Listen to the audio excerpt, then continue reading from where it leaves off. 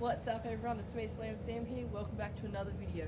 Today, we're sort of doing a surfboard review on Fats Plank's first board.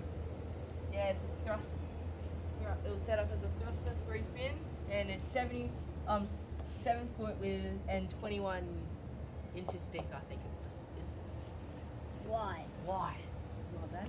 And that's Fats Plank's first board, have never rode it.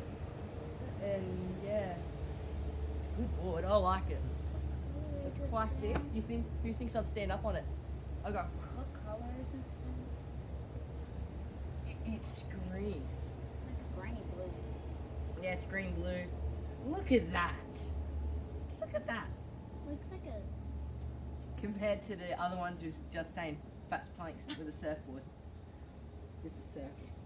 Quite a sick circle though. No, it looks like a barrel. Like you can see the girl. Uh, yeah, sorta. Write down in the comment section below if you think I should ride this board when I go out for a surf.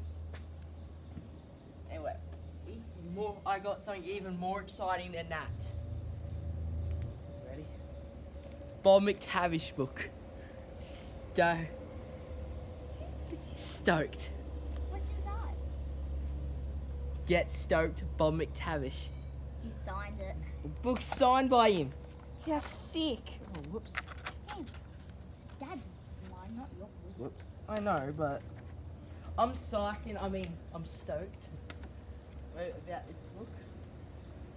Can't wait to At read it. At the back, you can see who it's illustrated by and what he looks like when he's older. Like older now. How Dang, I hate books like this, don't you? They're hard to put back in shape. Oh, it isn't. For me, it is. I don't want to wreck the book. Plus, you fix it. But we're psyched out of our minds about that. Sorry about that book. That's thanks. and yeah, that's basically about it. Hope you're all isolating and, and you know, yeah. Remember to social distance. and that's it. about it. Belt the bloody like button and older. subscribe.